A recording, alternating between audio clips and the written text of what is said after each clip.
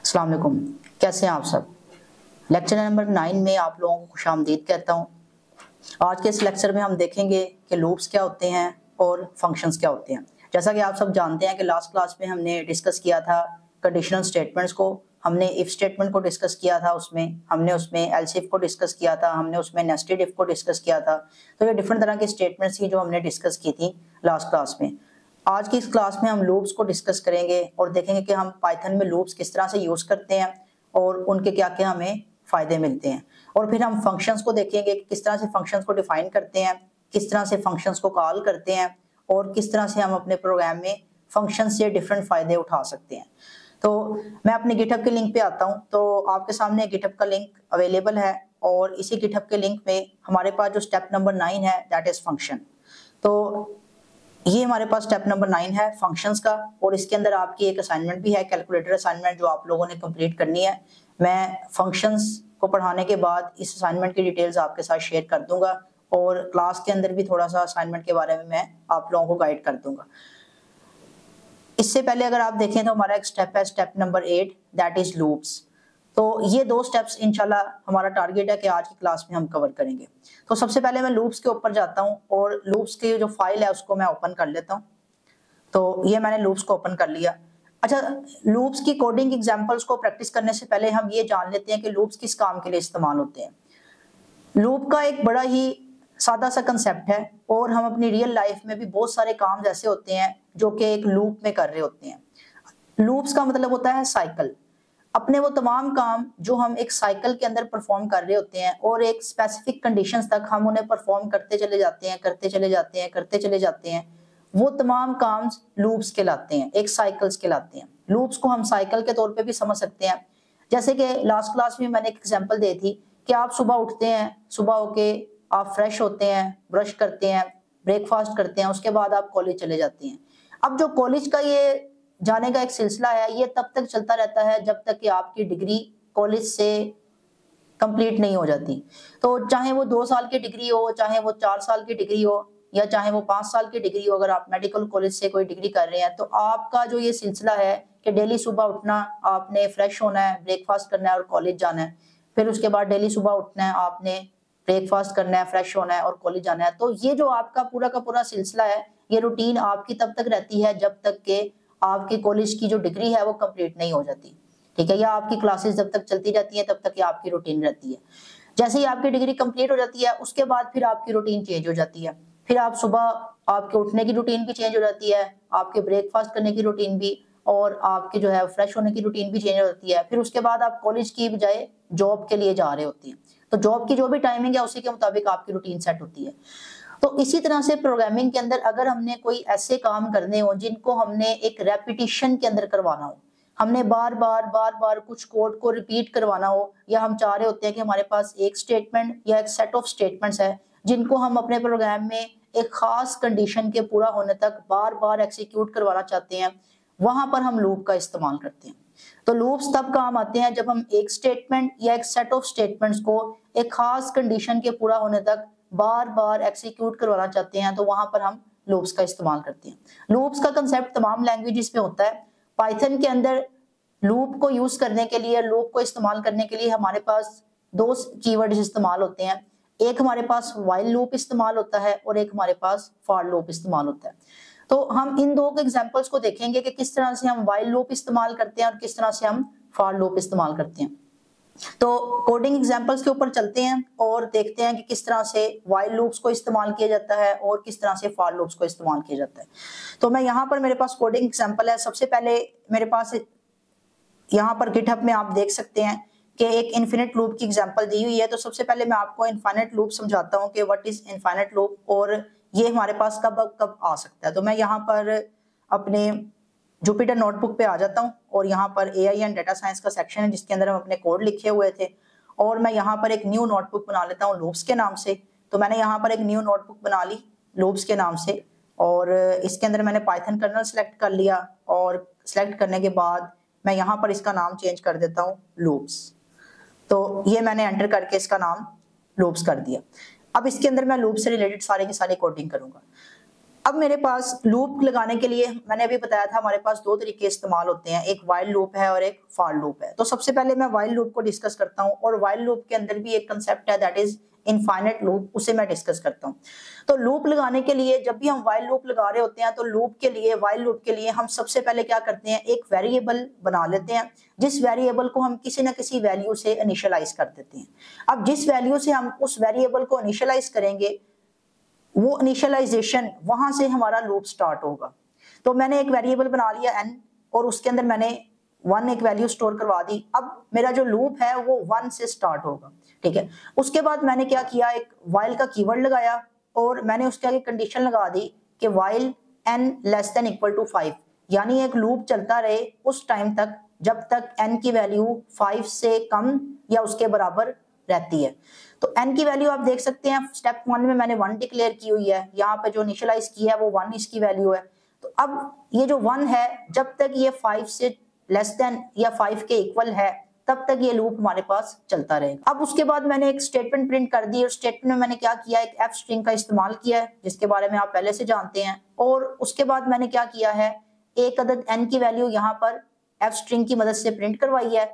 और उसके बाद हेलो बैच थर्टीन ये मैंने यहाँ पर प्रिंट करवा दिया। यहाँ पर मैं कुछ भी लिख सकता हूँ टेक्स्ट की जगह। तो मैंने यहाँ पर hello A I and data science लिख दिया, क्योंकि हमारा ए आई और डाटा साइंस का कोर्स यहाँ पर चल रहा है। तो ये मैंने इस तरह से लिख दिया। अब आप इसकी जगह कुछ भी मैसेज लिख सकते हैं। एक मैंने एफ़ स्ट्रिंग को यूज़ किया और एफ़ स्ट्रिंग को यूज़ करने के बाद मैंने यहाँ पर क्या किया कि एक अदद एन की वैल्यू प्रिंट करवाई, कि जो भी एन की वैल्यू है वो यहाँ पर प्रिंट हो, और इस तरह से मैंने काम करवा दिया, ठीक है? अब जब मैं इस लूप को चलाता हूँ, अभी के लिए मैं इस लाइन को कमेंट कर देता हूँ और मैं इस लूप को चलाता हूँ तो आप देखेंगे कि सबसे पहले ये लूप कुछ इस तरह से चलेगा। सबसे पहले एन की वैल्यू वन इनिशियलाइज होगी, उसके बाद चेक किया जाएगा क्या एन की वैल्यू फाइव से लेस देन है। तो हमारे पास वन जो है वो फाइव से लेस देन ही होता है। तो लिहाजा ये कंडीशन ट्रू होगी और मेरे पास ये स्टेटमेंट प्रिंट हो जाएगी। एन की वैल्यू आ जाएगी वन और hello A I and data science आ जाएगा।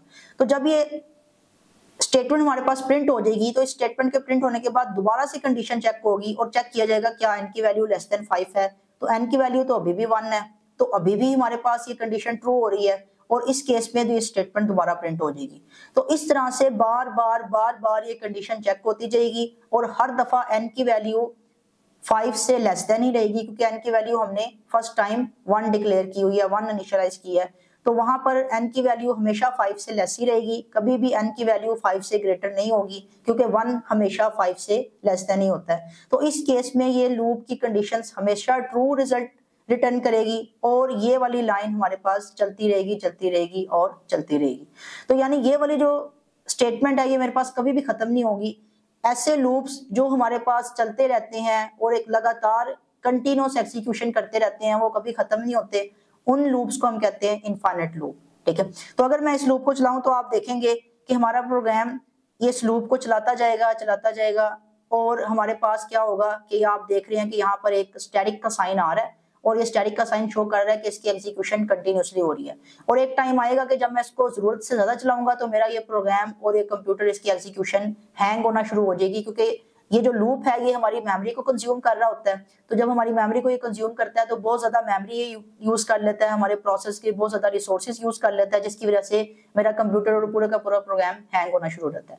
अब मैं अगर इसको यहाँ से क्लोज भी करता हूँ तो ये मेरे पास यहाँ से स्टॉप नहीं होगा, क्योंकि ये हैंग होना शुरू हो गया। तो ये इस तरह से। तो बहरहाल मेरे पास ये स्टॉप हो गया है। वैसे नॉर्मली आपके पास हो सकता है अगर कंप्यूटिंग रिसोर्सेज में ये थोड़ा ज़्यादा अगर एग्जीक्यूट हो जाता है तो फिर ये स्टॉप भी नहीं होता, ये हैंग हो जाता है। मेरे पास यहाँ पर हो गया ये स्टॉप ठीक है? तो आप, जब आपके पास इस तरह की कोई सिचुएशन आ जाए कि ये आपके पास स्टॉप नहीं हो रहा तो आप इसमें कर्नल को रीस्टार्ट कर लिया करें। आप यहाँ पर क्लिक करें, ये कर्नल वाली ऑप्शन पे कर्नल वाली ऑप्शन पे क्लिक करने के बाद आप रीस्टार्ट कर्नल के ऊपर क्लिक करेंगे तो आपका ये पूरा का पूरा कर्नल रीस्टार्ट हो जाएगा, जिससे वो आपका जो इन्फिनिट लूप है वो उसकी एग्जीक्यूशन को टर्मिनेट कर दिया जाएगा। तो ये एक तरीका है इसको टर्मिनेट करने का। और आप यहाँ से इंटरप्ट कर्नल के ऊपर भी क्लिक कर सकते हैं। अगर तो इससे हो रहा है, आपका ये एग्जीक्यूशन स्टॉप हो रही है तो आप इसको भी यूज़ कर सकते हैं। मेरी बहरहाल स्टॉप के बटन पे क्लिक करने से ही एग्जीक्यूशन स्टॉप हो गई, जिससे इंटरप्ट द कर्नल का ऑप्शन था। तो इससे ही मेरा ये काम हो गया। तो आप ये देख रहे हैं कि अब यहाँ पर नंबर लिखा हुआ आ गया, इसका मतलब कि अब ये एक्सिक्यूट नहीं हो रहा। तो ये हमारे पास इनफाइनेट लूप होते हैं। इनफाइनेट लूप हम कभी भी इस्तेमाल नहीं करते और हम कोशिश यही करते हैं कि इनसे बचा जाए, क्योंकि ये लूप्स हमारे बहुत ज़्यादा रिसोर्सेज कंज्यूम कर लेते हैं और इनकी आउटपुट हमारे पास इनकी जो रिपीटिशन है, वो कभी ख़त्म ही नहीं होती। इनके साइकिल्स चलते जाते हैं, चलते जाते हैं। और हमारे रिसोर्सेज कंज्यूम होते जाते हैं। तो अब इस चीज़ को कंट्रोल करने के लिए मुझे ये बताना पड़ेगा कि हमारा जो लूप है वो इनफाइनाइट ना हो, बल्कि हमारा लूप दस दफ़ा, पंद्रह दफ़ा या पाँच दफ़ा, एक नंबर ऑफ़ टाइम्स तक चले, उसके बाद ये लूप क्या हो जाए ब्रेक हो जाए। तो मैं यहाँ पर एक इंक्रीमेंट स्टेटमेंट लगा देता हूँ एन के लिए। ये एन के लिए मैंने एक इंक्रीमेंट स्टेटमेंट लगाई। इसमें मैंने कहा कि हर दफ़ा जब एक दफ़ा लूप चलेगा तो लास्ट पर एन की वैल्यू में एक का इंक्रीमेंट होगा। यानी एन की वैल्यू फ़र्स्ट टाइम में वन से इनिशियलाइज की गई है। एक दफ़ा लूप चलने के बाद एन की वैल्यू टू हो जाएगी। उसमें वन ऐड होके दोबारा एन की वैल्यू अपडेट हो जाएगी टू हो जाएगी। अब टू के साथ कंडीशन चेक होगी कि क्या कंडीशन ट्रू है। तो फिर टू के साथ भी कंडीशन ट्रू होगी और स्टेटमेंट आ जाएगी मेरे पास। फिर एन की वैल्यू थ्री हो जाएगी। इसी तरह फोर हो जाएगी। इसी तरह फाइव हो जाएगी। फाइव के बाद जब एन की वैल्यू सिक्स होगी तो सिक्स के ऊपर ये मेरे पास कंडीशन फॉल्स हो जाएगी। क्योंकि सिक्स ना तो फाइव से लेस देन होता है। ना ही फाइव के इक्वल होता है। तो इस केस में जैसे ही मेरे पास कंडीशन फॉल्स होगी तो ये लूप क्या हो जाएगा? ब्रेक हो जाएगा। तो ये लूप उस टाइम तक चलता रहेगा जब तक मेरे पास कंडीशन ट्रू रहती है। जैसे ही फॉल्स होती है तो लूप टर्मिनेट हो जाता है। तो लूप के टर्मिनेट होने पर जितने भी एक्सिक्यूशन या जितने भी साइकिल्स उसके चले हैं, उन तमाम साइकिल्स की मेरे पास आउटपुट आ जाएगी। और जैसे ही लूप टर्मिनेट होगा, उसके बाद जो साइकिल्स हैं, वो नहीं चलेंगे और मेरे पास आउटपुट नहीं आएगी। तो मैं जैसे ही इसको रन करता हूँ तो आप ये देख रहे हैं कि एन की वैल्यू वन के साथ एक साइकिल चला टू के साथ चला थ्री के साथ चला फोर के साथ और फाइव के साथ। तो फाइव टाइम्स ये हमारे पास साइकिल्स चले हैं और उसके बाद जब एन की वैल्यू सिक्स हुई थी, तब कंडीशन हमारे पास फॉल्स हो गई थी और उस केस में हमारे पास ये लूप टर्मिनेट हो गया और उसके बाद नेक्स्ट आगे कोई साइकिल एक्सिक्यूट नहीं हुआ और ना ही हमारे पास आउटपुट आई। तो ये है हमारे पास वाइल लूप इस तरह से हम वाइल लूप को यूज़ कर रहे होते हैं। तो आप वाइल लूप को उन तमाम सिनेरियोस में यूज़ कर सकते हैं जहाँ पर आपको नहीं पहले से पता होता कि हमने अपने लूप की एग्जीक्यूशन कितनी दफ़ा करवानी है। तो when you don't know in advance कि how many times your cycles will complete your cycles will execute then you should use the while loop तो इस केस में हमारे पास वाइल लूप बहुत ज़्यादा इस्तेमाल होता है, जब हम पहले से एक्सिक्यूशन के बारे में नहीं जानते। उसके बाद हम अपने गिटहब पे चलते हैं और एक और एग्ज़ाम्पल देख लेते हैं, जो एग्ज़ाम्पल यहाँ पर इसने दी हुई है। तो यहाँ पर ही आप देख सकते हैं कि एग्ज़ाम्पल है, जिसमें हमने एन को टू से इनिशलाइज किया है, उसके बाद N less than equal to twenty इस पे हमने कंडीशन लगा दी और उसको हमने प्रिंट करवा दिया और हर टाइम यानी हर दफ़ा जब लूप की एग्जीक्यूशन हो रही है तो हर दफ़ा हम लास्ट पे उसके अंदर टू का इंक्रीमेंट करवा रहे हैं। तो ये वाला जो लूप है, ये लूप हमें वाइल लूप है, लेकिन ये लूप हमें हमेशा इवन नंबर प्रिंट करके देगा, क्योंकि हमने टू से स्टार्ट किया है और हम टू टू के गैप से नंबर जनरेट करवा रहे हैं। कि टू से स्टार्ट किया है देन फिर two plus two four then two plus four plus two six इस तरह से टू फोर सिक्स तो यहाँ पे ये जो लूप्स है, ये हमें इवन नंबर्स को प्रिंट करके दे देगा। इस तरह से आप ओड नंबर्स को भी प्रिंट करवा सकते हैं। आप किसी स्पेसिफिक नंबर का टेबल भी प्रिंट करवा सकते हैं। तो ये तमाम काम आप लूप की मदद से करवा सकते हैं। अच्छा उसके बाद हम चलते हैं एक और चीज़ पर दैट इज़ फॉर लूप जिसको हमने अभी थोड़ी देर पहले डिस्कस भी किया था कि ये भी हमारे पास एक लूप की एक मेथड है जिसके थ्रू हम क्या करते हैं? लूप को इम्प्लीमेंट करते हैं। अब फॉर लूप हमारे पास तब इस्तेमाल होता है जब हम पहले से जानते हैं कि हमारे लूप ने कितने टाइम्स एक्सिक्यूट होना है। जब हमें पहले से पता है कि हमारा जो लूप है वो फाइव टाइम्स एक्सिक्यूट होगा टेन टाइम्स होगा हंड्रेड टाइम्स होगा, जितने भी टाइम्स एक्सिक्यूट होगा, अगर हम ये पहले से जानते हैं तो फिर हम क्या करेंगे? हमेशा फॉर लूप का इस्तेमाल करेंगे।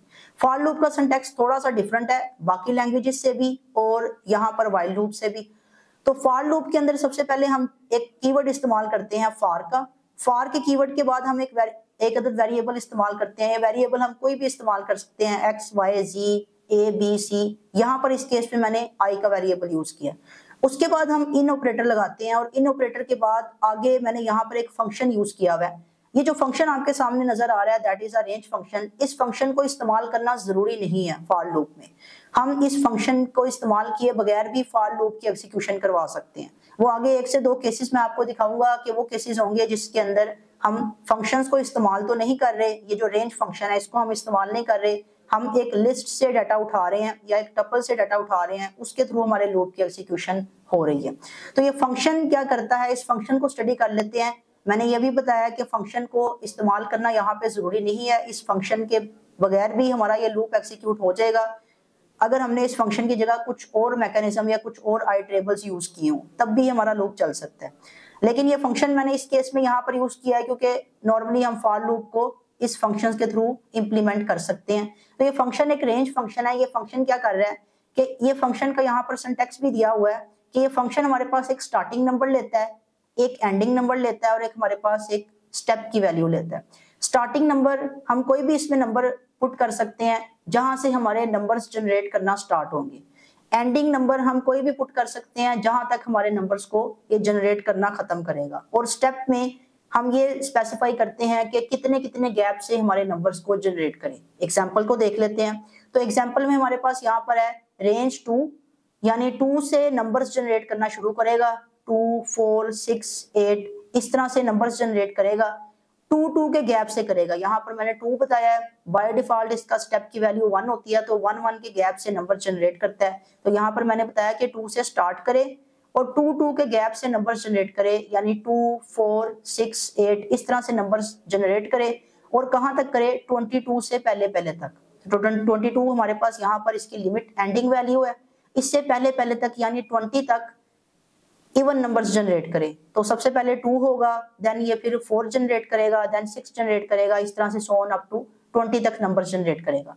तो हर दफ़ा की जो एग्जीक्यूशन है, उसके अंदर ये एक इवन नंबर जनरेट करेगा और वो आई में जाके स्टोर कर देगा। जब ये इवन नंबर आई में स्टोर होगा तो इस आई के साथ ही एग्जीक्यूशन हमारे पास क्या होगी? चलना शुरू हो जाएगी। यानी फ़र्स्ट टाइम में जब फ़र्स्ट नंबर जनरेट होगा तो हमारे पास आई की वैल्यू टू होगी और उसके साथ एक एक्सिक्यूशन चलेगी। एक दफ़ा हमारा लूप साइकिल चलेगा। दोबारा जब टू के इंक्रीमेंट के साथ फोर होगा तो आई की वैल्यू फोर हो जाएगी। दूसरी दफ़ा हमारा साइकिल चलेगा। इसी तरह सिक्स के साथ हमारा साइकिल चलेगा। एट के साथ चलेगा। टेन के साथ चलेगा। अब टू ट्वेंटी तक नंबर जब जनरेट होते जाएँगे तो हमारे साइकिल्स आई के साथ चलते जाएँगे।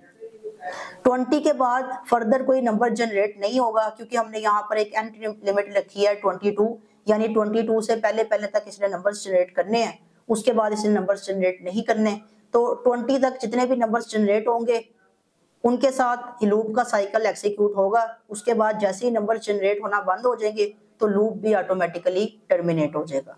तो ये इस तरह से मेरे पास फॉर लूप का मैंने एक कंप्लीट सिंटेक्स आपको बता दिया कि किस तरह से हम इसको यहाँ पर यूज़ कर रहे हैं। अब जब मैं इसको एग्जीक्यूट करूँगा तो एक्सिक्यूशन के लूप के अंदर जो मैंने लिखा है साइकिल में वो जो भी नंबर आई से जनरेट होके आ रहा है, उसको मैंने प्रिंट में लिख दिया है कि वो हमारे पास जो नंबर है, वो प्रिंट होके आ जाए। तो मेरे पास टू से लेकर ट्वेंटी तक जितने भी इवन नंबर हैं टू टू के गैप से, वो सारे के सारे आप देखेंगे कि मेरे पास यहाँ पर आउटपुट में प्रिंट होके आ गए और ट्वेंटी तक वो लास्ट लूप की एक्सिक्यूशन थी, उसके बाद चूँकि आगे कोई नंबर जनरेट नहीं हुए तो उसने आगे उस लूप को भी कंटिन्यू नहीं किया। तो इस तरह से हम फॉर लूप का इस्तेमाल करते हैं। कि for loop as compare to अगर आप देखें वाइल लूप की नस्बत तो यहाँ पर हमें one two three four four lines of code का इस्तेमाल करना पड़ा। तब जाके हमारे पास वाइल लूप की सारी एग्जीक्यूशन कंप्लीट हुई।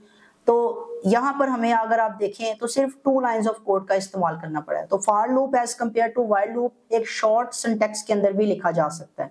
और ये चूँकि हमें पहले से जानते भी हैं हम इसके बारे में कि अगर हमें पता हो कि कितने टाइम्स लूप की एग्जीक्यूशन करवानी है तब हम लाजमी फॉर लूप ही इस्तेमाल करते हैं। वाइल भी कर सकते हैं लेकिन ज़्यादा बेहतर है कि हम फॉर लूप इस्तेमाल करें। और वाइल लूप से ज़्यादा फॉर लूप प्रोग्रामिंग के अंदर बहुत ज़्यादा इस्तेमाल होता है क्योंकि हमें अपनी एग्जीक्यूशन का मोस्ट ऑफ़ द टाइम पता होता है कि कितने टाइम्स हमारी एग्जीक्यूशन हमने करवानी तो ये यहाँ पर फॉर लूप को इस्तेमाल करने का तरीका है। उसके बाद हम इस, इसके नेक्स्ट एग्जांपल पर चलते हैं। तो आप यहाँ पर ये देख सकते हैं कि एक ये भी स्टेटमेंट है जो हम यहाँ पर इस्तेमाल कर सकते हैं। अच्छा ये क्या चीज़ है? इसमें हमने क्या किया है कि इस स्टेटमेंट में हमने ना तो हमने कोई स्टार्टिंग नंबर दिया है, ना ही हमने कोई एंडिंग नंबर दिया है, हमने सिर्फ़ एक वैल्यू दे दिया रेंज टेन तो रेंज टेन क्या करेगा? जब हमने कोई स्टार्टिंग नंबर नहीं स्पेसिफाई किया तो बाय डिफ़ॉल्ट स्टार्टिंग वैल्यू होती है ज़ीरो और ये जो मैंने वैल्यू यहाँ पर पास की है, ये वैल्यू एंडिंग वैल्यू के तौर पर सेट हो जाएगी. तो बाय डिफ़ॉल्ट ज़ीरो से स्टार्ट करेगा और टेन तक नंबर जनरेट करेगा. अब मैंने यहाँ पर कोई स्टेप भी स्पेसिफाई नहीं किया कि कितने गैप्स के साथ नंबर्स जनरेट करने हैं। तो यहाँ पर इसने बाय डिफ़ॉल्ट गैप जो रखा है, वो वन का रखा है। तो जब भी आप यहाँ पर स्टेप्स की जगह कोई गैप स्पेसिफाई नहीं करते तो बाय डिफ़ॉल्ट जो गैप होता है, वो वन के गैप से नंबर जनरेट करता है। तो यहाँ पर ये ज़ीरो से लेकर टेन तक टेन से पहले पहले तक वन के गैप से नंबर जनरेट करेगा। तो zero one two three up to nine तक ये नंबर जनरेट करेगा। और हमारे इस पूरे के पूरे जो लूप की एक्सिक्यूशन है, ये नाइन टाइम्स होंगी, ठीक है?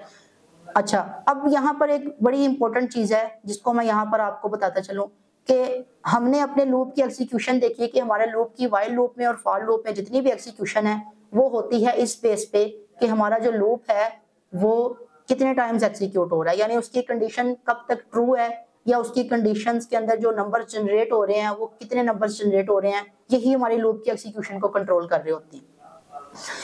तो अगर मैं अपने लूप की एग्जीक्यूशन को दरमियान में रोकना चाहता हूँ, मैं चाहता हूँ कि अगर मेरे लूप की एक्सिक्यूशन टेन टाइम्स होनी है तो टेन टाइम्स जो मेरे लूप की एक्सिक्यूशन होगी और टेन टाइम्स लूप की एक्सिक्यूशन होने के बाद उस लूप से बाहर आएगा, मैं अपनी लूप की एक्सिक्यूशन को जो टेन टाइम्स होनी है, उसको पाँच तक ही रोकना चाहता हूँ, कि मैं चाहता हूँ कि वो फाइव टाइम्स एक्सिक्यूट हो, उसके बाद वो रुक जाए।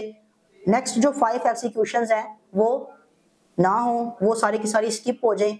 तो उस केस में मैं ब्रेक स्टेटमेंट का इस्तेमाल करता हूँ। ब्रेक स्टेटमेंट मेरे पास एक ऐसी स्टेटमेंट है जो कि लूप की एक्सिक्यूशन को सेंटर में रोकने के लिए इस्तेमाल होती है। जब तक वो लूप चलता रहता है, चलता रहता है, जब तक वो अपनी एक्सिक्यूशन कंप्लीट नहीं कर लेता लूप कभी भी टर्मिनेट नहीं होता।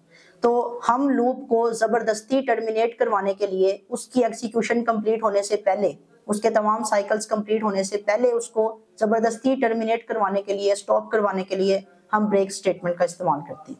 तो यहाँ पर मैंने ज़ीरो से लेकर टेन तक आइट्रेशन जनरेट करवाई है। तो यहाँ पर मेरे पास जो प्रिंट आई है, ये हमारे पास टेन टाइम्स स्टेटमेंट चलेगी। ये सबसे पहले ज़ीरो के साथ चलेगी देन वन के साथ टू के साथ, और अप टू नाइन तक ये हमारे पास चलेगी। अब इसको मैं दरमियान में रोकना चाहता हूँ तो उस रोकने के लिए मैंने क्या किया? मैंने यहाँ पर एक कंडीशन स्पेसिफाई कर दी इस लूप के अंदर कि if I is equal equal to five कि अगर हमारे पास आई की वैल्यू फाइव के बराबर होती है तो उस टाइम पे क्या करे? एक ब्रेक स्टेटमेंट चला दे। तो फ़र्स्ट टाइम में आई की वैल्यू ज़ीरो होगी वन होगी टू होगी थ्री होगी फोर होगी तो ज़ीरो से लेकर फोर तक जितनी भी वैल्यूज़ होंगी, उनके साथ ये स्टेटमेंट्स एग्जीक्यूट होगी और सारी वैल्यूज़ प्रिंट होना शुरू हो जाएँगी। जैसे ही आई की वैल्यू फाइव होगी तो फाइव के केस में ये हमारे पास कंडीशन ट्रू होगी और इसके ब्लॉक में एंटर होगा और हमारे पास ब्रेक स्टेटमेंट एग्जीक्यूट होगी। तो ब्रेक स्टेटमेंट फाइव को प्रिंट करवाने के बाद ब्रेक स्टेटमेंट जो है हमारे लूप को क्या करेगी? टर्मिनेट कर देगी, उसी टाइम पे उसको स्टॉप कर देगी। तो फाइव स्टेटमेंट प्रिंट होने के बाद, यानी हमारे पास फाइव नंबर प्रिंट होने के बाद नेक्स्ट जो सिक्स के साथ लूप की एग्जीक्यूशन है वो नहीं होगी। क्योंकि ब्रेक स्टेटमेंट यहाँ पर फाइव के साथ ही उसको ब्रेक कर रही है। जैसे आई की वैल्यू फाइव हुई है कंडीशन ट्रू हो रही है और ब्रेक स्टेटमेंट एक्सिक्यूट हो रही है, जो कि उसको सिक्स टाइम्स की जो एग्जीक्यूशन है सिक्स के साथ जो उसकी एग्जीक्यूशन है, वो करने ही नहीं दे रही। तो जब मैं इसको रन करता हूँ तो आप यहाँ पर देख सकते हैं ज़ीरो से लेकर फाइव तक एग्जीक्यूशन हुई है, जबकि मैंने यहाँ पर स्पेसिफाई किया था कि ये नाइन तक जाएगी। और ब्रेक स्टेटमेंट ने फाइव के बाद ही उसे क्या कर दिया है, उस पूरी की पूरी एग्जीक्यूशन को रोक दिया। तो ब्रेक स्टेटमेंट का ये काम होता है। उसके बाद एक और स्टेटमेंट है जिसका नाम है कंटिन्यू स्टेटमेंट उसको हम देखते हैं कि वो किस काम के लिए इस्तेमाल होती है। तो मैं यहाँ से उसकी एग्ज़ाम्पल कॉपी कर लेता हूँ और कॉपी करने के बाद अपने जुपिटर नोटबुक पे लेके आता हूँ। अब सबसे पहले हम कंटिन्यू स्टेटमेंट के कंसेप्ट को समझ लेते हैं कि ये क्या काम करती है। कंटिन्यू स्टेटमेंट हमारे पास लूप की कोई एक एग्जीक्यूशन को स्किप करवाने के लिए इस्तेमाल होती है। यानी अगर मेरे पास कोई भी एक एग्जीक्यूशन है, यानी अगर मैंने ज़ीरो से लेकर टेन तक नंबर प्रिंट करने हैं तो मैं चाहता हूँ कि ज़ीरो से लेकर टेन तक नंबर प्रिंट हो, लेकिन दरमियान में एक नंबर है सिक्स वो स्किप हो जाए। लेट्स सपोज़ सेवन या एट या फाइव कोई भी एक नंबर वो स्किप हो जाए, यानी उसकी एग्जीक्यूशन दरमियान में कोई एक एग्जीक्यूशन स्किप हो जाए, वो एग्जीक्यूशन कंप्लीट ना हो उससे पहले वाली तमाम एक्सिक्यूशन हो और उसके बाद वाली तमाम एक्सिक्यूशन हो, दरमियान वाली कोई एक एक्सिक्यूशन स्किप हो जाए तो एक्सिक्यूशन को स्किप करने के लिए मैं कंटिन्यू स्टेटमेंट्स का इस्तेमाल करता हूँ। ठीक है? अब इसको कैसे इस्तेमाल करेंगे? हम कोड के ऊपर देखते हैं। तो मैंने नाइन तक नंबर जनरेट करवाए और ये मेरे पास वही पुरानी एग्ज़ाम्पल है जो अभी हम देख रहे थे। उसके बाद मैंने यहाँ पर एक कंडीशन लगा दी कि जैसे ही आई की वैल्यू फाइव होती है तो ये कंडीशन ट्रू हो जाएगी और मैंने आगे कंटिन्यू स्टेटमेंट लगा दी। अब कंटिन्यू स्टेटमेंट क्या करेगी? जैसे ही इस आई की वैल्यू फाइव होगी, हर हर दफ़ा आई की value zero one two three four के साथ ये स्टेटमेंट चेक होगी। इन तमाम वैल्यूज़ पे ज़ीरो से लेकर फोर तक ये हमारी इफ़ कंडीशन फॉल्स रहेगी। जब फॉल्स रहेगी तो इसके ब्लॉक में नहीं जाएगा और हमारे पास वो प्रिंट करके लेके आता रहेगा आता रहेगा। ज़ीरो से लेकर फोर तक ये प्रिंट करके लेके आता रहेगा। अब जैसे ही मेरे पास ये जो है आई की वैल्यू जैसे ही मेरे पास फाइव होगी तो जैसी आई की value is equal to five होती है, ये ब्लॉक एक्सिक्यूट होगा और ये कंटिन्यू की स्टेटमेंट चलेगी। अब कंटिन्यू की स्टेटमेंट जैसे ही एक्सिक्यूट होगी तो वो फाइव वाली एक्सिक्यूशन को कंप्लीट नहीं होने देगी, बल्कि कंटिन्यू की स्टेटमेंट ये मैसेज देगी कि फ़ौरन यहाँ से ही दोबारा नेक्स्ट आइट्रेशन को कॉल किया जाए। तो जैसी आई की वैल्यू फाइव होगी फाइव होने के बाद ही कंटिन्यू स्टेटमेंट एक्सिक्यूट हुई और कंटिन्यू स्टेटमेंट इसको नीचे जाने ही नहीं देगी कंट्रोल को, वो यहाँ से ही दोबारा नेक्स्ट एक्सिक्यूशन को कॉल कर लेगी, जो कि नेक्स्ट एक्सिक्यूशन आई की वैल्यू सिक्स के साथ हो रही है। तो ज़ीरो से लेकर फोर तक फाइव के साथ ही कंटिन्यू स्टेटमेंट जिसने फॉरन कंटिन्यू स्टेटमेंट ने मैसेज दिया कि फॉरन नेक्स्ट एक्सिक्यूशन को कॉल करो, इस एक्सिक्यूशन को फर्दर आगे कंटिन्यू नहीं करना। तो जिसकी वजह से ये होगा कि फाइव में जो प्रिंट होना था वो नहीं हो पाएगा। तो फाइव हमारे पास स्किप हो जाएगा और फाइव की कंप्लीट एक्सिक्यूशन स्किप हो जाएगी और सिक्स वाली एक्सिक्यूशन सेवन वाली एक्सिक्यूशन वो एज इट इज़ ऐसे चलती रहेंगी। तो कंटिन्यू स्टेटमेंट दरमियान में किसी भी टाइम एक्सिक्यूशन को स्किप करके दोबारा नेक्स्ट एक्सिक्यूशन पर जाने के लिए इस्तेमाल होती है। तो जब मैं इसको रन करता हूँ तो आप देख सकते हैं ज़ीरो के साथ आया वन के साथ टू के साथ थ्री के साथ फोर के साथ और फाइव हमारे पास स्किप हो गया है। फाइव वाला साइकिल यहाँ पर नहीं आ रहा। उसके बाद सिक्स सेवन एट और नाइन ये तमाम साइकिल्स हमारे पास यहाँ पर आ रहे हैं। तो ये इस तरह से हमारे पास कंटिन्यू स्टेटमेंट का इस्तेमाल होता है। उसके बाद आगे हम देख लेते हैं, ये क्लास कंसेप्ट है हमारे पास that is the nested loop nested loop क्या होता है कि जिस तरह से हमने नेस्टेड इफ़ पढ़ा था कि एक इफ़ के अंदर एक और इफ़ होती है, ऐसे ही हमारे पास नेस्टेड लूप भी होता है कि एक लूप के अंदर एक और लूप यहाँ पर एक बात जाननी बहुत ज़्यादा ज़रूरी है कि लूप के अंदर चूँकि हमारे पास आइट्रेशन होती हैं साइकिल्स होते हैं तो जो हमारे पास नेस्टेड लूप है, अगर तो हम ये टू लेवल्स तक कर रहे हैं नेस्टिंग टू लेवल्स का मतलब हमारे पास एक लूप है, उसके अंदर हम एक और लूप इस्तेमाल कर रहे हैं तो इसे हम टू लेवल नेस्टिंग कहेंगे. इस केस में अगर हमने ये नेस्टिंग की हुई है तो जो बाहर वाला लूप होता है, उसको हम आउटर लूप कहते हैं. और जो हमारा लूप के अंदर वाला लूप होता है, उसको हम इनर लूप कहते हैं. तो इनर लूप जब आउटर लूप की एक साइकिल कंप्लीट होता है तो आउटर लूप के एक साइकिल के साथ इनर लूप के तमाम तर साइकिल्स कंप्लीट होते हैं। ये इसका बुनियादी असूल है कि अगर हमारे पास आउटर लूप है और आउटर लूप की एक एक्सिक्यूशन कंप्लीट हुई है तो उसकी एक एक्सिक्यूशन के साथ इनर लूप के जितने भी हमारे पास एक्सिक्यूशन हैं, वो सारे के सारे कंप्लीट होंगे। देन कंप्लीट होने के बाद फिर आउटर लूप की एक एक्सिक्यूशन उसकी एक साइकिल कंप्लीट होगा एंड देन इनर लूप के तमाम तर साइकिल्स कंप्लीट होंगे। तो आउटर लूप के हर एक साइकिल के साथ इनर लूप के तमाम साइकिल्स चलते हैं। यही हमारे पास नेस्टेड लूप की वर्किंग होती है। तो अगर हम इसको देखें तो हमने यहाँ पर दो लूप्स लगाए हैं। हमने यहाँ पर एक लूप लगाया जो कि हमने ज़ीरो से फोर तक लगाया है, यानी फाइव से पहले पहले तक, और एक हमने लूप लगाया है जे वेरिएबल पे, और हमने यहाँ पर रेंज फ़ंक्शन नहीं लगाया, बल्कि मैंने यहाँ पर एक लिस्ट स्पेसिफाई कर दिया ये चीज़ मैं आपको थोड़ी देर पहले भी बता चुका हूँ कि रेंज फ़ंक्शन लगाना ज़रूरी नहीं है। हम यहाँ पर कोई और आइट्रेबल देख सकते हैं। तो यहाँ पर आपने देखा है कि यहाँ पर रेंज फ़ंक्शन लगाने की बजाय मैंने एक लिस्ट पास कर दिया जिसमें कुछ फ्रूट्स हैं एप्पल बनाना और चेरी अब होगा ये कि बाहर वाला जो लूप है, वो आई की value zero one two three four इसके साथ चलेगा और अंदर वाला जो लूप है जे वो जे की वैल्यू इस लिस्ट में से उठाता जाएगा. यानी वो लिस्ट से एप्पल उठाएगा और जे में स्टोर करके इसके साथ एक साइकिल चलाएगा. देन वो नेक्स्ट टाइम लिस्ट से बनाना उठाएगा. और जे में स्टोर करके इसके साथ एक साइकिल चलाएगा। देन वो चेरी उठाएगा और इसके साथ साइकिल चलाएगा। तो ज़रूरी नहीं हम रेंज फ़ंक्शन का इस्तेमाल करें। हम एक लिस्ट या टपल्स भी पास कर सकते हैं, जिसके अंदर से फॉर लूप एक एक करके वैल्यू उठाता जाए और अपने साइकिल्स को कंप्लीट करता जाए। तो यहाँ पर मैंने ये एक इनर लूप लगा दिया और इस इनर लूप में मैंने ये किया कि मैंने यहाँ पर जो प्रिंट स्टेटमेंट करवाई है, इस प्रिंट स्टेटमेंट मैंने लिख दिया कि यहाँ पर मेरे पास आई की वैल्यू प्रिंट हो और उसके बाद जे की वैल्यू में जो कि एक फ्रूट्स नेम स्टोर है, वो यहाँ पर प्रिंट हो जाए। और जब इस लूप से बाहर आए तो जब हमारे पास इनर लूप की कंप्लीट साइकिल्स पूरे हो जाए तो उसके बाद मेरे पास एक प्रिंट स्टेटमेंट लगे जो कि एक लाइन छोड़ के नीचे आ जाए, ताकि मैं ये देख सकूँ कि हमारे पास इनर लूप के कितने साइकिल्स कंप्लीट हो गए हैं। एक दफ़ा जब उसके साइकिल कंप्लीट हो जाए तो एक लाइन छोड़ के नीचे आ जाए देन फिर आउटर लूप का एक साइकिल चलेगा और उसके साथ इनर लूप के कंप्लीट साइकिल्स चलेंगे। और फिर उसके बाद के बाद उससे नीचे आ जाएगा। देन फिर आउटर लूप का साइकिल चलेगा, उसके बाद इनर लूप के कंप्लीट साइकिल चलेंगे, उसके बाद उससे नीचे आ जाएगा। तो यहाँ पर मैं क्या करता हूँ, इसका आउटपुट आपको दिखा देता हूँ। तो यहाँ से मैंने कोड को कॉपी किया और कॉपी करने के बाद मैंने इस कोड को यहाँ पे पेस्ट किया और पेस्ट करने के बाद जैसे ही मैंने इसको एक्सिक्यूट किया तो ये आप देख रहे हैं कि यहाँ पे आई की वैल्यू ज़ीरो है ज़ीरो के साथ हमारा इनर लूप कंप्लीटली एक्सिक्यूट हुआ और वो सारे फ्रूट्स आ गए। फिर आई की वैल्यू वन के साथ एक्सिक्यूट हुआ, फिर टू के साथ एक्सिक्यूट हुआ थ्री के साथ। तो एक दफ़ा साइकिल इनर जो आउटर लूप का एक टाइम साइकिल चलने के बाद इनर लूप के तमाम तर कंप्लीट साइकिल्स चलते हैं, उसके बाद फिर आउटर लूप का नेक्स्ट साइकिल चलता है। तो ये हमारे पास नेस्टेड लूप की वर्किंग होती है। तो यहाँ तक हमारे लूप्स का कंसेप्ट खत्म होता है।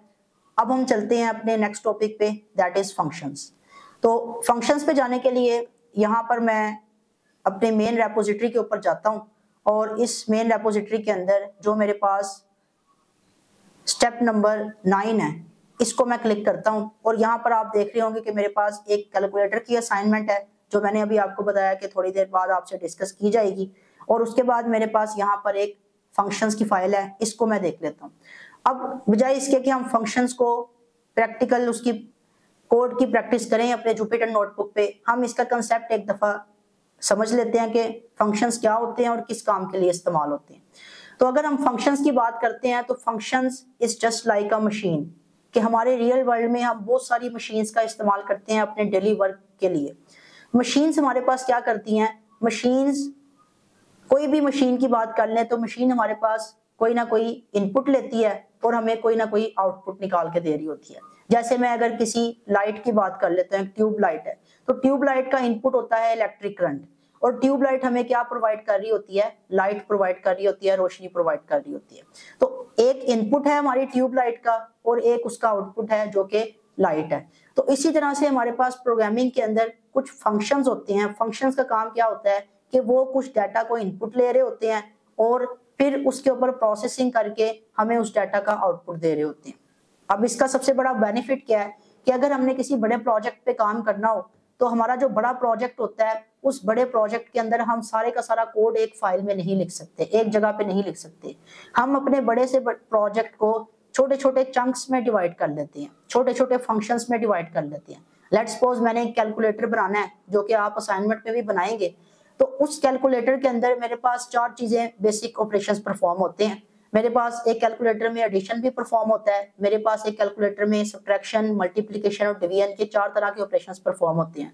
अब बजाय इसके कि मैं पूरी की पूरी पाईचाम की फ़ाइल में पाइथन की फ़ाइल में पूरे का पूरा कैलकुलेटर का कोड लिख दूँ, मेरे लिए ज़्यादा ये बेहतर है कि मैं हर एक ऑपरेशन परफॉर्म करवाने के लिए एक स्पेसिफिक फ़ंक्शन बना लूँ। एडिशन के लिए मैं एक सम का फ़ंक्शन बना लूँ। सब्ट्रैक्शन के लिए मैं ये सब्ट्रैक्शन का एक फ़ंक्शन बना लूँ मल्टीप्लीकेशन के लिए मल्टीप्लाई का एक फ़ंक्शन बना लूँ, और डिवीज़न के लिए डिवाइड का फ़ंक्शन बना लूँ।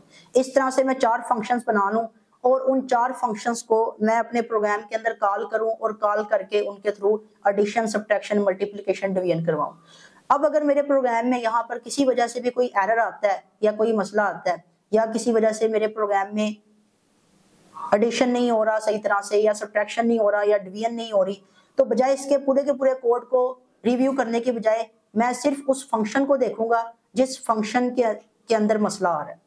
तो पूरे के पूरे प्रोग्राम को डीपक करने के बजाय रिव्यू करने के बजाय, उसमें कोड तलाश करने के बजाय मैं सिर्फ़ और सिर्फ़ उस फ़ंक्शन को देखूँगा, जिस फ़ंक्शन की वजह से इशू आ रहा है, जिस फ़ंक्शन के अंदर मसला आ रहा है। तो यहाँ से मेरे प्रोग्राम की रीडेबिलिटी बहुत ज़्यादा इंक्रीज हो जाती है और उसकी एरर हैंडलिंग भी बहुत ज़्यादा इस्तेमाल हो जाती है कि जब हमने किसी प्रोग्राम में से एरर तलाश करने हो या उसमें कोई इश्यूज़ आ रहे हो तो बजाय इसके के पूरे के पूरे प्रोग्राम को, पूरी की पूरी फ़ाइल को हम गो थ्रू करें और उसे रिव्यू करें अपने कोड को, हम सिर्फ़ टारगेटेड फ़ंक्शंस को ही देखते हैं और उसी के अंदर से एरर निकालने की कोशिश करते हैं। दूसरा ये फ़ायदा कि एक तो हमारी एरर हैंडलिंग बहुत ज़्यादा आसान हो जाती है डिबगिंग बहुत ज़्यादा आसान हो जाती है।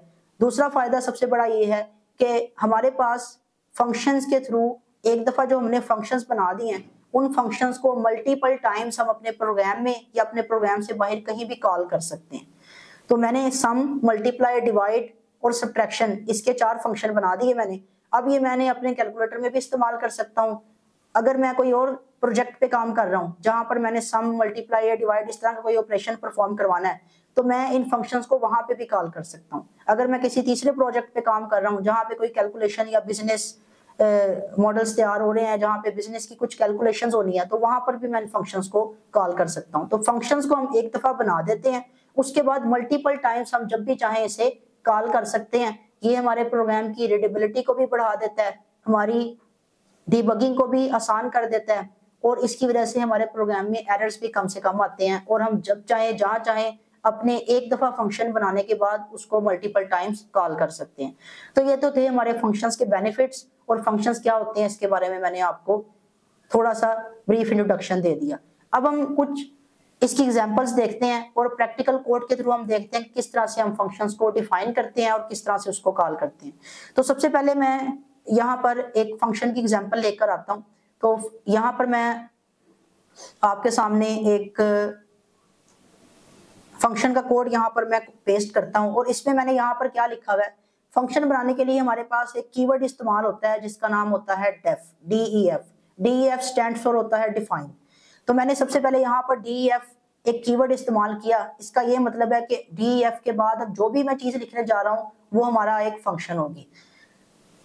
कोड पर जाने से पहले फ़ंक्शन के बारे में एक चीज़ थी जो बतानी बहुत ज़्यादा ज़रूरी थी, वो ये कि हमारे पास दो तरह के फ़ंक्शन होते हैं। एक होते हैं हमारे पास बिल्ट इन फ़ंक्शंस और एक होते हैं हमारे पास user defined functions built in functions वो होते हैं जो कि पाइथन के अंदर ऑलरेडी डिफाइन होते हैं। जैसा कि आप देख सकते हैं, यहाँ पर आपने बहुत ज़्यादा प्रिंट स्टेटमेंट का इस्तेमाल किया है। अब ये जो प्रिंट है, ये हमारे पास एक फ़ंक्शन है। ये आपने बहुत ज़्यादा इस्तेमाल किया है। अब तक हम स्टार्टिंग क्लास से लेकर जो हमारी फ़र्स्ट क्लास है, उस वक्त से लेकर अब तक जितनी भी क्लासेस हमारी हुई हैं, हम हर क्लास में कम से कम एक दफ़ा तो प्रिंट स्टेटमेंट लाजमी इस्तेमाल कर चुके होंगे, या मल्टीपल टाइम्स भी इस्तेमाल कर चुके होंगे। तो प्रिंट हमारे पास यहाँ पर जो है दैट इज़ अ फ़ंक्शन ये एक बिल्ट इन फ़ंक्शन है पाइथन का। जो कि क्या काम करता है, इसको जो भी डाटा दिया जाए, उसको हमारे पास कंसोल के ऊपर प्रिंट करवा देता है। तो ये एक बिल्ट इन फ़ंक्शन है जो पाइथन प्रोग्रामिंग के अंदर पहले से ही डिफाइन हुआ हुआ है, पहले से ही डिक्लेयर हुआ हुआ है और इसको हम यूज़ कर रहे होते हैं। अब जितने मर्ज़ी दफ़ा हम इसको यूज़ कर सकते हैं, हमें प्रिंट को डिफाइन करने की ज़रूरत नहीं है। तो इसी तरह से दूसरे तरह के फ़ंक्शन होते हैं, हमारे पास जिन्हें हम कहते हैं यूज़र डिफाइन फ़ंक्शंस और वो फ़ंक्शंस हम खुद बनाते हैं और हम उन्हें जितनी मर्ज़ी दफ़ा इस्तेमाल कर सकते हैं, अपने प्रोग्राम में कॉल कर सकते हैं। तो जब हमने कोई अपनी तरफ़ से कस्टम फ़ंक्शन बनाना हो यूज़र डिफाइंड फ़ंक्शन बनाना हो तो उस केस में हम एक डेफ का कीवर्ड इस्तेमाल करते हैं। डेफ मीन्स डिफाइन इसके बाद जो हम लिखने जा रहे हैं, वो एक यूज़र डिफाइंड फ़ंक्शन होगा। और आगे हम कोई भी नाम लिख देते हैं, जैसे मैंने यहाँ पर एक हेलो लिखा तो हेलो इस केस में हमारे पास फ़ंक्शन का नाम है। तो फ़ंक्शन का नाम हम स्मॉल लेटर्स में ही लिखते हैं। ये एक अच्छी प्रैक्टिस है। आप इसको कैपिटल लेटर्स में भी लिख सकते हैं। लेकिन पाइथन की तमाम तरह प्रोग्रामिंग जो वेरिएबल्स डिक्लेरेशन है या कमांड्स हैं, वो सारे के सारे स्मॉल लेटर्स में होते हैं। तो ज़्यादा बेहतर यही है कि आप फ़ंक्शंस को स्मॉल लेटर्स में लिखें। कुछ ऐसे केसेस हैं जहाँ पर हमें कैपिटल लेटर्स इस्तेमाल करने पड़ते हैं, जैसे कि क्लासेस हैं ऑब्जेक्ट्स हैं तो वहाँ पर जब हम जाएँगे उस टॉपिक पे तो मैं वहाँ पर आपको बता दूँगा कि कहाँ कहाँ हमें कैपिटल लेटर्स इस्तेमाल करने हमारे लिए ज़रूरी होते हैं। तो मेथड्स के केस में कोई भी हमने अपना मेथड या फ़ंक्शन बनाना हो तो हम स्मॉल लेटर्स का इस्तेमाल करेंगे। तो मैंने यहाँ पर लिख दिया इस फ़ंक्शन का नाम और आगे मैंने राउंड ब्रैकेट्स डाल दी। ये राउंड ब्रैकेट्स इस बात की निशानी है कि ये हमारे पास एक फ़ंक्शन है। तो ये एक फ़ंक्शन है जो कि हेलो जिसका नाम है और उस फ़ंक्शन के आगे कॉलन लगा के उसकी इंडेंटेशन में मैंने आगे लिखा है, उसके नीचे प्रिंट हेलो वर्ल्ड यानी एक फ़ंक्शन है जिसका नाम हेलो है, और ये क्या काम कर रहा है? ये सिर्फ़ हेलो वर्ल्ड यानी ये जो टेक्स्ट है, इसको स्क्रीन के ऊपर प्रिंट कर देगा. तो अब जैसे ही मैं इस कोड को एग्जीक्यूट करता हूँ तो मेरे पास ये एक फ़ंक्शन डिफाइन हो गया. अब ये फ़ंक्शन डिफाइन होने के बाद इस फ़ंक्शन को तो मैंने बना दिया अब मैंने इस फ़ंक्शन को यूज़ करना है. तो यूज़ करने के लिए मैं इस फ़ंक्शन को कॉल करूँगा. तो कॉल करने का तरीका ये है कि मैं क्या करता हूँ? इस फ़ंक्शन का नाम लिखता हूँ. और आगे इसके ब्रैकेट लगा देता हूँ। तो जैसे मैंने इसका नाम लिखा और इसके आगे ब्रैकेट लगा दी तो ये हमारे पास फ़ंक्शन कॉल होगा। और जैसे ही कॉल होगा तो ये फ़ंक्शन जो भी काम कर रहा है, यानी इसका काम है कि इसने हेलो वर्ल्ड को प्रिंट करना है तो ये वो प्रिंट करके मेरे पास दिखा रहा है यहाँ पर। अब इस फ़ंक्शन को मैं मल्टीपल टाइम अपने प्रोग्राम में यहाँ पर कॉल कर सकता हूँ। तो मैं जितनी दफ़ा भी इसे कॉल करूँगा, एक दफ़ा मैंने इसे डिफाइन कर दिया और उसके बाद मल्टीपल टाइम्स मैं इसे कॉल करूँगा तो इसकी सारी की सारी एग्जीक्यूशन परफॉर्म होके मेरे पास उस उस जगह रिजल्ट्स आना शुरू हो जाएँगे। तो ये हमारे पास फ़ंक्शंस का फ़ायदा होता है। इस तरह से हम फ़ंक्शंस को डिफाइन करते हैं। अभी जो मैंने ये फ़ंक्शन आपके सामने डिफाइन किया है, ये जो बेसिकली फ़ंक्शन है, ये फ़ंक्शन एक सिंपल फ़ंक्शन है। इसके अंदर ना तो कोई इनपुट जा रही है और ना ही हमारे पास कोई आउटपुट आ रही है। आगे हम जाकर वो फ़ंक्शंस देखेंगे कि जिन फ़ंक्शंस के अंदर कुछ ना कुछ इनपुट भी जा रही होगी और जिसके अंदर कोई ना कोई आउटपुट भी आ रही होगी। तो इंशाल्लाह हम नेक्स्ट क्लास में ये देखेंगे लेक्चर नंबर टेन में कि वो फ़ंक्शंस किस तरह से बना सकते हैं, जिनके अंदर कोई ना कोई इनपुट भी जा रही होती है और जिनसे कोई ना कोई आउटपुट भी आ रही होती है और उस फ़ंक्शन को किस तरह से डिक्लेयर करते हैं और किस तरह से इस्तेमाल करते हैं। आज का लेक्चर हम यही तरह रखते हैं। उम्मीद है यहाँ तक आपको सारी चीज़ें क्लियर हो गई होंगी। नेक्स्ट लेक्चर के लिए अल्लाह हाफिज़।